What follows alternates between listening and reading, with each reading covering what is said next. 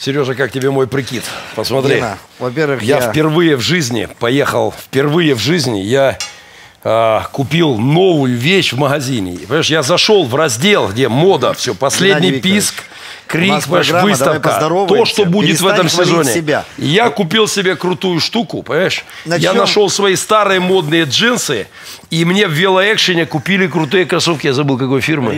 Рибок. Что. Алексей, если, Рибок. если я, тебя к чему? сейчас не представлю, шансов у тебя нет. Я к чему? что Нет, я представлю. Такой эгоцентрик, я понимаешь, представлю, все потому что, себе, смотри, курточка, я к штаны, чему? Потому что пишет. здесь человек, наконец-то, который может сказать, что духовно и модно должно быть в паре. Да, хорошо. А, привет, вот теперь представляй солидно. У него Алексей, сайт, портал. Алек- ну да, духовный вот. и Алексей, модный. Fashion and spirit, понимаешь? Это Дорогие телезрители, про я вас приветствую на программе «Два портфеля». Геннадий благополучно, ну, почти благополучно вернулся с велопробега.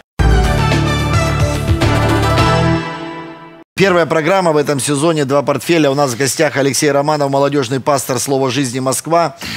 Вот, э, судя по его прикиду, я так понимаю, мне придется сегодня сложно, потому что они как два родных брата вот э, э, разукрасились, оделись.